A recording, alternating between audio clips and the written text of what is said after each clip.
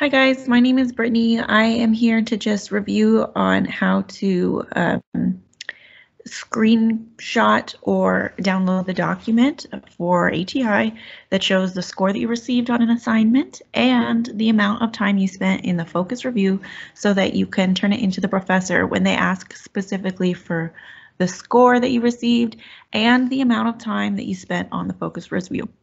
So once you complete the assignment and your focus review, you can go to the My Results tab and it'll show you every assignment that you've ever completed on ATI.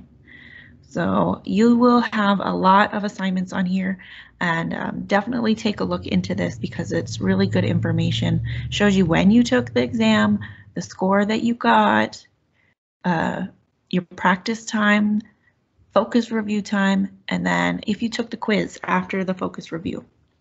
So when your professor assigns one of the practice exams, it's going to come, come up under this practice assessments category underneath the proctored assessments.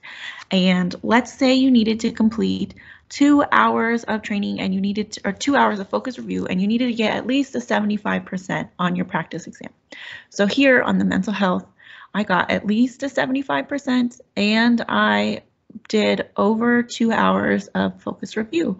So that meets the criteria. So I'm going to go ahead and click on the mental health practice B.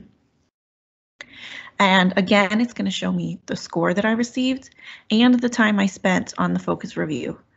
So now that I know that both of those are okay, I can go ahead and download this report and it'll download however your desktop has it downloading. And this is what your professor is asking for. It has the name of the assessment that you took. It has your score. It has the time that you took on the exam, and it has the time that you spent in the focus review. So from here, you can download this document, save it onto your desktop or wherever you save your files, and then you can turn it into the professor. Make sure that when they ask specifically for something that requires a score above a certain percentage or a time, um, above. Usually it's two hours I've seen. This is what the professor wants. And I know it's multiple pages, but you shouldn't have to highlight anything or do anything special. Just download this report and turn it into Canvas.